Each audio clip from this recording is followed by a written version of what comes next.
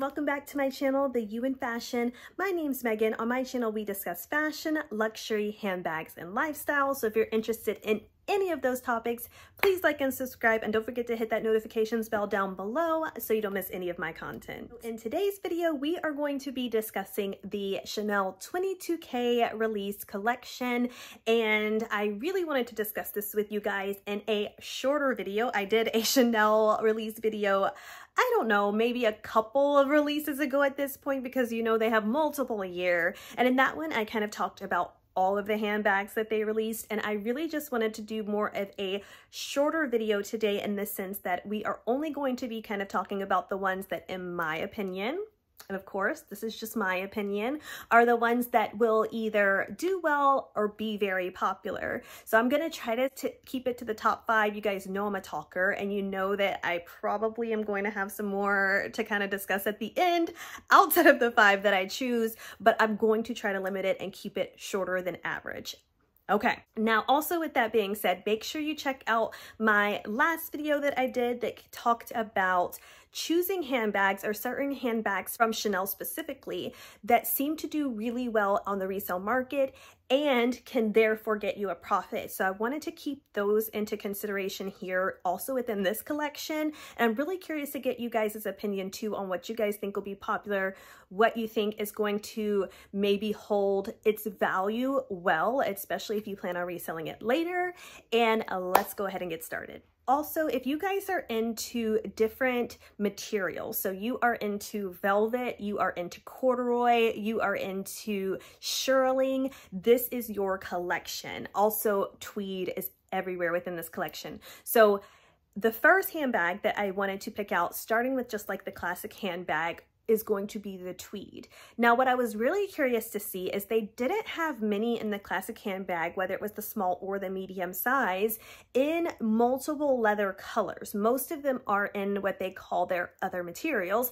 And in this particular case is the tweed. Now, the ones that I really liked and I thought were really cute, especially if you are a tweed person, is this bright pink tweed. I think that it is absolutely gorgeous. And also the blue, and it looks like it even has like little purple specks in there that I thought was really, really, really cute.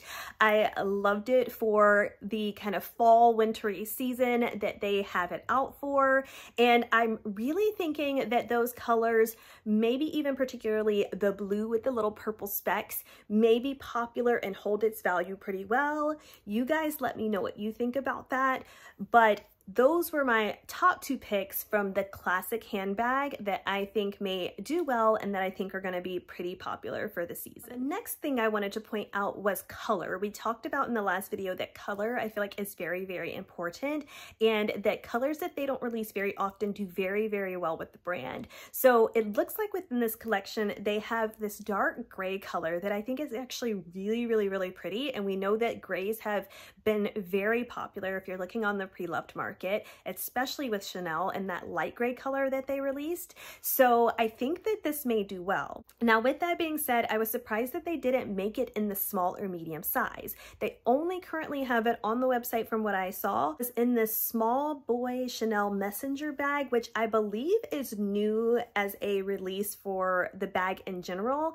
And I'm not really sure how I feel about it yet. The boy bag I feel like has gone through its challenges in the past year staying popular. So I feel like this is a way for them to try to reintroduce the boy bag in another light.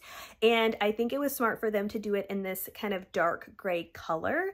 They also look like they have shearling as a popular material for this bag. So again, if you like shearling, I feel like this is a good collection to try.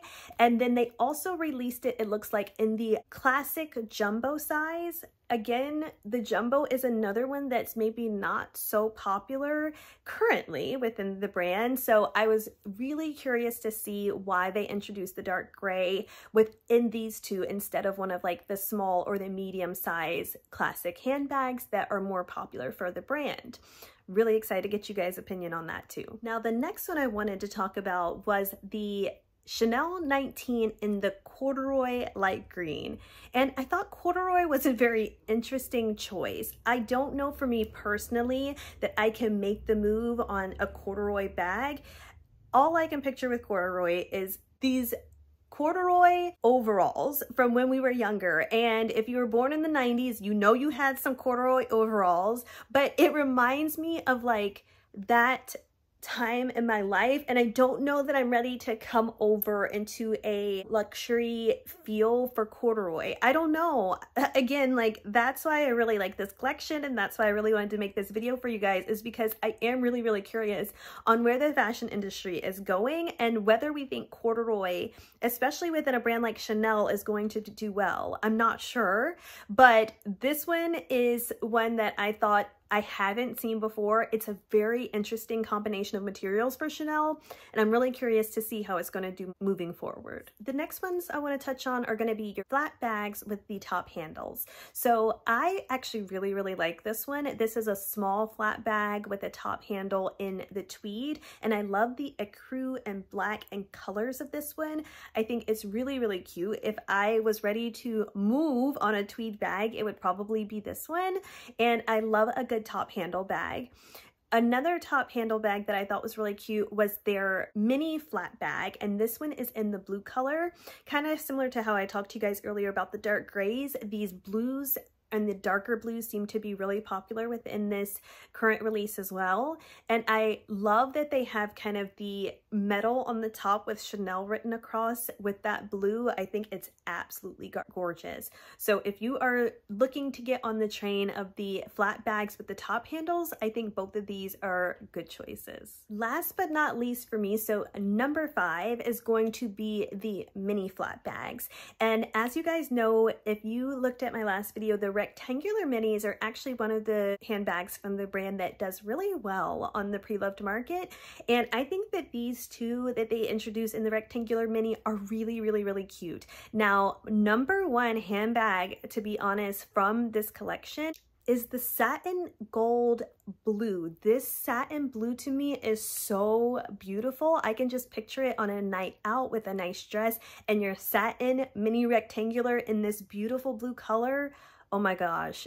I think this handbag is so pretty. If you're looking for a night out bag, I really, really, really like this bag. Now, also they made the mini flap bag in this dark pink and fuchsia color, which again, I really, really like. I feel like it gives me very clueless vibes, which it looks like we are there, you guys. If you are looking at fashion or what people are currently picking out, it is the matching skirt and crop jacket tweed sets. And I feel like this bag would go perfectly with a skirt cropped jacket tweed set in this tweed bag. I mean, we'll just be like, I love it. I think it's so cute. Now, I know that I did my five already, so these are just like a little bit of added extras. Like I said, you guys know I love to talk, and you know that I love things that I'm passionate about, and handbags are clearly one of them. So things that I wanted to point out that maybe are not so much handbags, but I feel like were really cute and a great idea if you're looking for something to purchase from this season.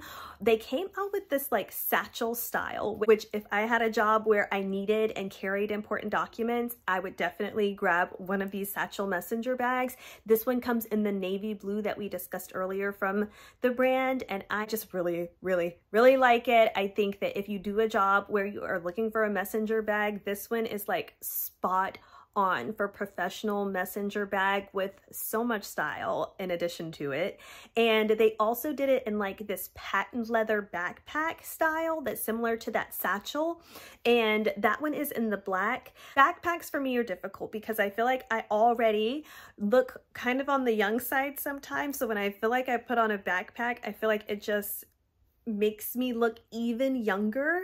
So I know that backpacks are still very on trend, which is why I wanted to talk to you about it in this video. And I think that if you are a backpack person and you are a patent leather person, this one is going to be really popular. Going alongside with backpacks, I know that Chanel doesn't release backpacks every single collection, so I felt like it was important for us to discuss what backpacks they had. And the other one that I saw that I thought was cute, very tweed, very 90s early 2000s fashion is the wool tweed backpack here and I think that this is really cute. To be honest, if I was looking for like a tweed backpack from Chanel, this one I feel like would be a great choice.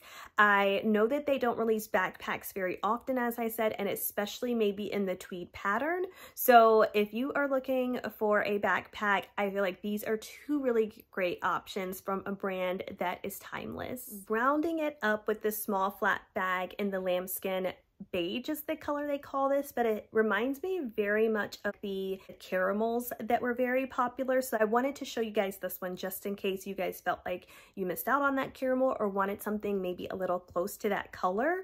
Also, it may be a precursor. We've heard that maybe they're coming back with the caramels next year. So I just wanted to pop this one in there just in case you guys were looking for maybe a brown from the brand that was close to that popular caramel color released. That is all of my video today. I hope I made it short and sweet so that we could take a look at some of this collection together and some of the things that I felt like would be great options or what I think may be popular from this current collection. And I'll talk to you guys in the next video. Bye!